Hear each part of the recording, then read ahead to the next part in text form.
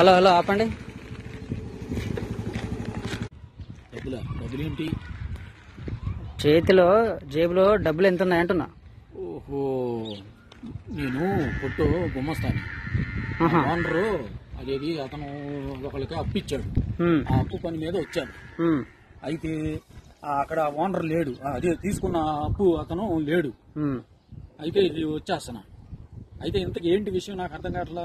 డబ్బులతో ఏం పని? డబ్బులు ఎందుకు అడుగుతారు? అర్థం అవ్వట్లేదు మీకు ఓహో ఇదే సంగతి దారితో పిడియా బాబు నీకు విషయం చెప్పాలి. చెప్పండి.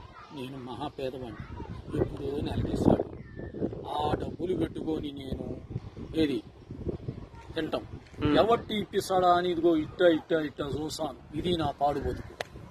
ఏది? అయితే ఇప్పుడు ఏమంటావు ఏమీ లేదు. పొద్దుడాయించి ఆడికి పని చేసి చేసి నాకు కూడా డొక్కెండిపోయి ఆకలి అవుతుంది నీ దగ్గర ఏమన్నా ఉంటే ఇస్తే గనక అవి తీసుకొని నేను పోతా నీకు అది ఇది ఎలా ఉందంటే దేవుళ్ళ దొరికావు నువ్వు అసలు నీకు చేతులు ఎత్తి దండం పెడుతున్నాను నేను చేతులు ఎత్తి దండం పెడుతున్నాను ఇలాంటి వాళ్ళు కూడా అసలు నిజంగా జాక్ పాట్ అయ్యా ఈ- బాబు నాకు నాకు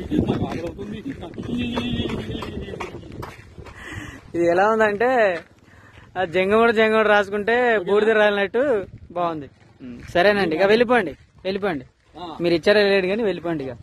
కదా?